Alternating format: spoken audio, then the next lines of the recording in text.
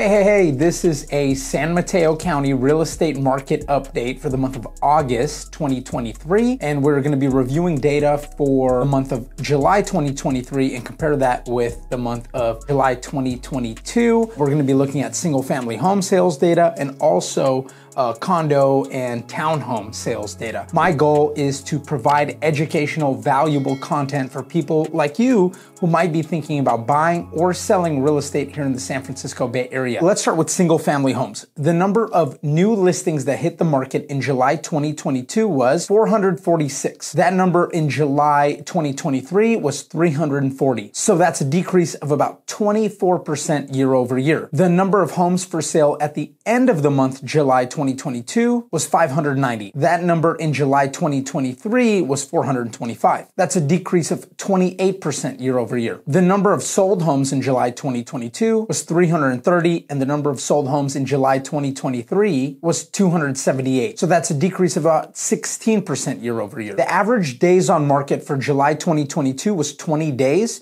and July 2023, that number was also 20 days, unchanged year over year. The average sales price in July 2022 was about 2,377,000 and some change. And in July 2023, that number was 2,349,000 and some change. That's basically about a 1% decrease year over year. And the median sales price in July 2022 was 1,804,000 and some change, whereas the median sales price in July 2023 was exactly $1.8 million.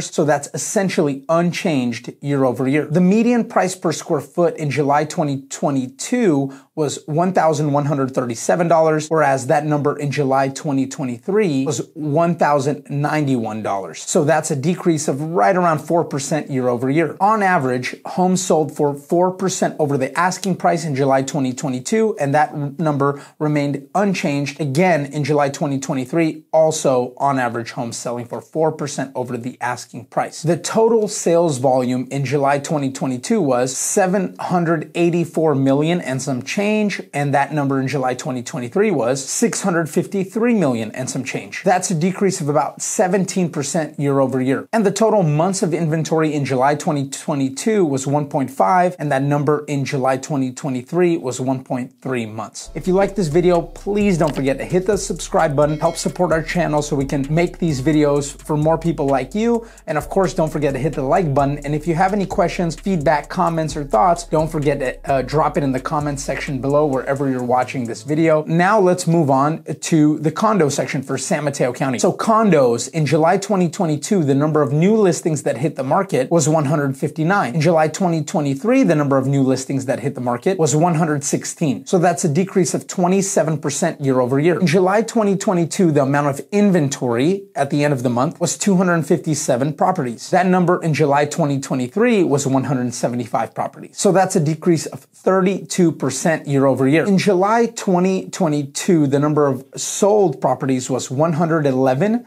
and in July 2023, that number was 88. So a decrease of about 21% year over year. The average days on market in July 2022 for condos and townhomes was 24, and that number in July 2023 was 33. So that's an increase of 38% year over year. The average sales price for condos, townhomes in July 2022 was $998,000, and in July 2023, that number was $995,000. That number is essentially unchanged year over year. Now, the median sales price in July 2022 was $895,000, and the median sales price in July 2023 was $923,000 and some change. So that's an increase of about 3% year over year. The median price per square foot in July 2022 was $810 per square foot, and in July 2023, that number was $818. So that's an increase of right around 1% year over year. The percentage that homes sold over the listing price in July 2022 was 2%. And in July 2023, that number was 3%. The total sales volume in July 2022 was 110 million and some change. And that number in July 2023 was 87 million and some change. So that's a decrease of about 21% year over year. The total months of inventory in July 2022 was two months months. And in July 2023, that number was 1.7 months. If you wanted to jump on a quick call or discuss the local market, what's happening here, please don't hesitate to reach out. Again, my name is Joe Polyak. My team and I, we focus on selling real estate, on helping buyers